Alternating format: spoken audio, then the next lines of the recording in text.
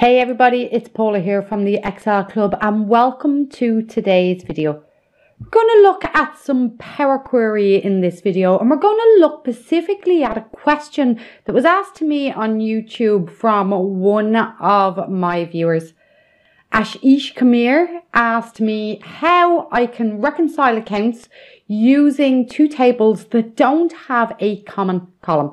So the question more specifically says, Hi Paula, good day. Your videos are great and very informative. Thanks very much.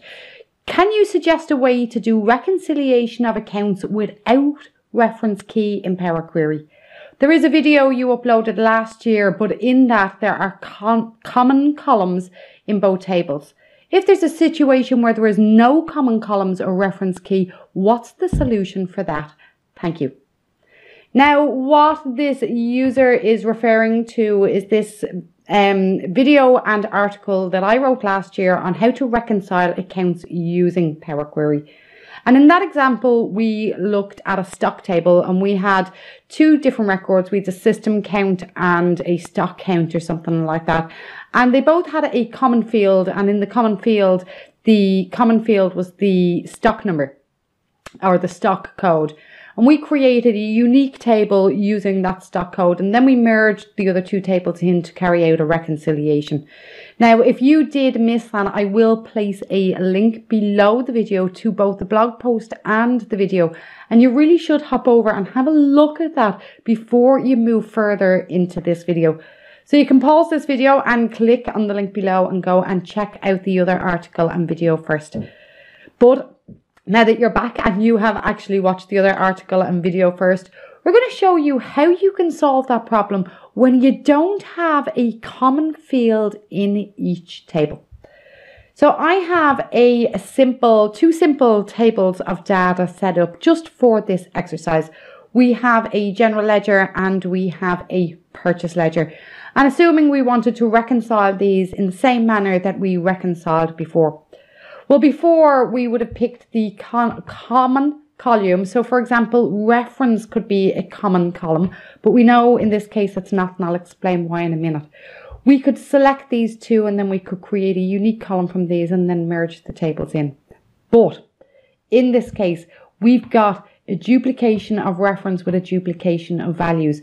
So if you were to use the reference and then you were to remove duplicates, again, please make sure you watch the other video so you know what I'm talking about.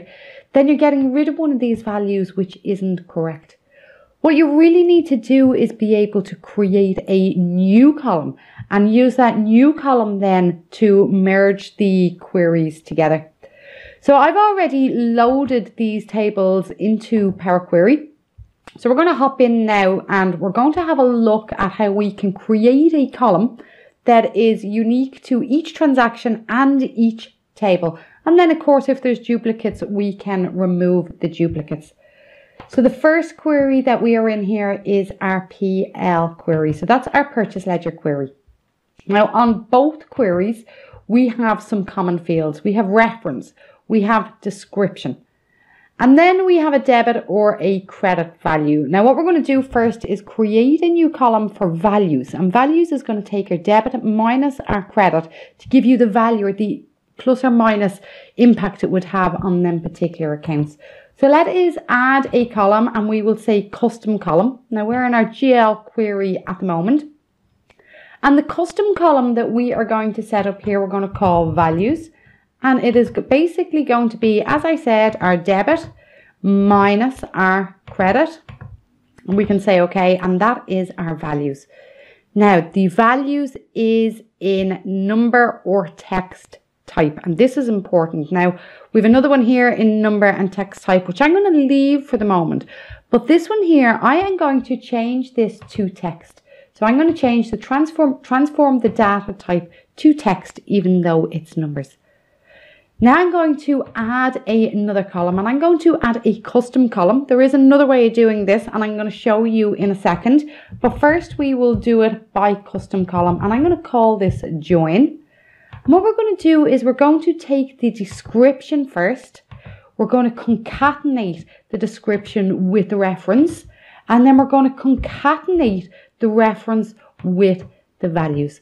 Now, this is to create a unique identifier for each row in this table.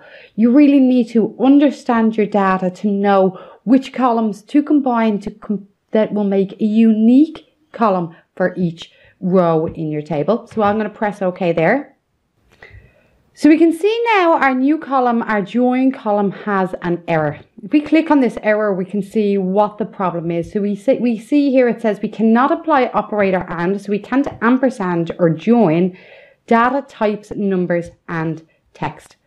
So I'm going to go back to our add column and we'll see our add column error in here. And that's what that is. So basically we had changed our values all to text, but we don't only have text in our references and our descriptions. In our descriptions, we have a number.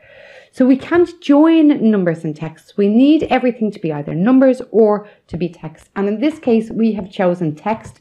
So I'm going to transform that to text.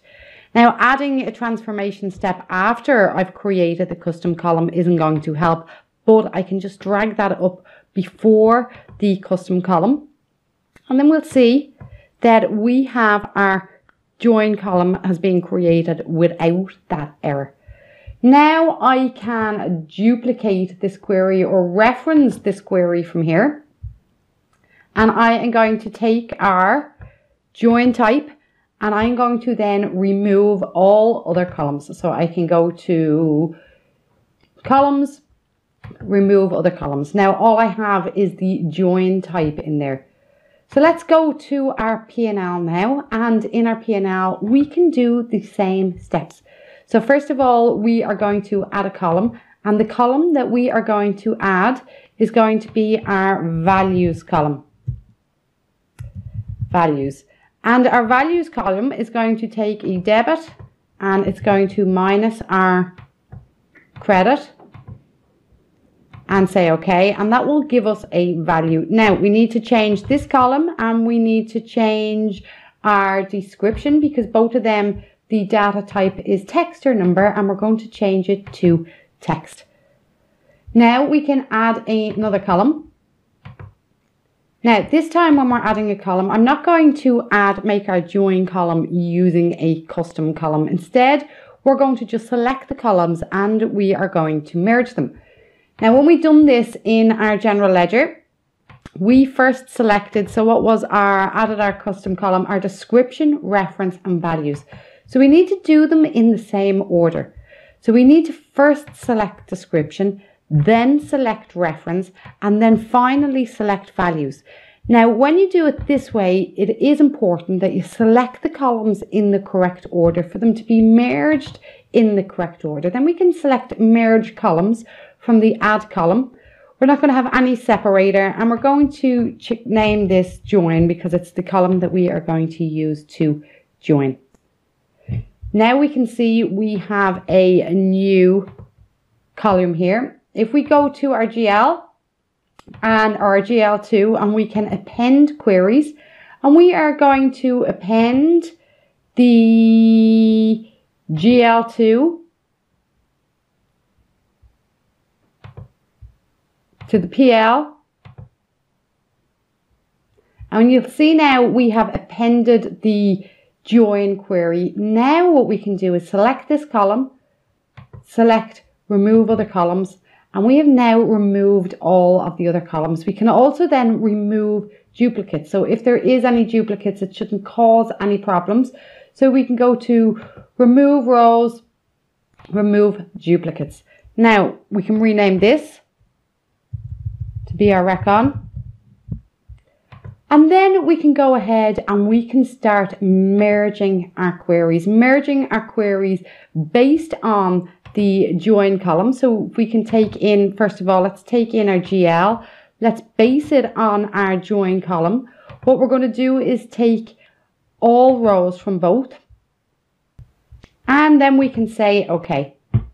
So this takes in our GL table. Now, what do we want from in here? Well, all we really want is our values. So we can bring in our values and then we can merge another query and this time we want our PL. Again, we want to select our join columns and we are going to take in our full outer. Well, we don't really need to do a full outer, but we will do a full outer and we will bring in our values. So now we have all of our values and from here in you can really follow the same steps for the reconciliation now that we had in the previous video and in the article because we've created a join column. So that is how you can use Power Query to create a column that that you can use then to combine two tables together and reconcile accounts. Basically just using Power Query. You can do this in both Excel and you can do it in Power BI. I do hope that you enjoyed this video. It was something different this week by answering a user's question. So I do hope that you found it of value. If you did, I hope that you will give it the big thumbs up and share it across your social profiles. If you're new to this channel, I hope that you will press the subscribe button and hit that notifications button so you don't miss any more of my videos. My name is Paula from the Excel Club and I will see you again soon. Goodbye now.